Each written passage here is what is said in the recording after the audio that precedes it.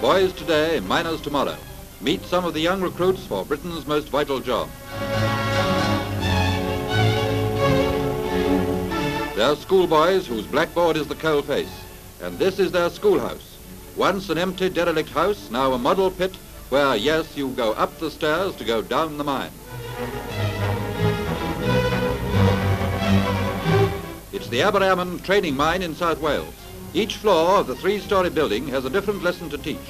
On the mezzanine, we join the pit propping class. The ground floor features four arched roadways exactly duplicating the tunnels to a real coal face. On the floor above, you find the coal face proper.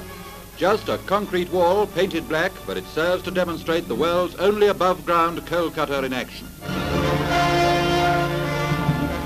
Something else every miner has to know, how to build a pack to support the roof.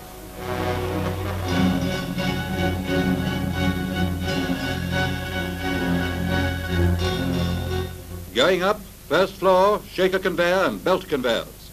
Coal, the real stuff this time, and nothing make-believe about that dirty face. Other kids may take their schooling in other ways, but geometry never gave you an appetite like that.